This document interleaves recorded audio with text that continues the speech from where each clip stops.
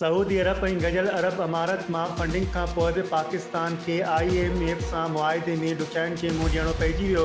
उन हवाले सां नहाणे वारी वज़ारत जे ज़रिए जो चवणु आहे त सऊदी अरब ॿ अरब डॉलर फ़ंड ॾियण जे हवाले सां ज़बानी तौर ते चयो हो जॾहिं त मुल्क खे टे अरब डॉलर फ़ंड जी ज़रूरत आहे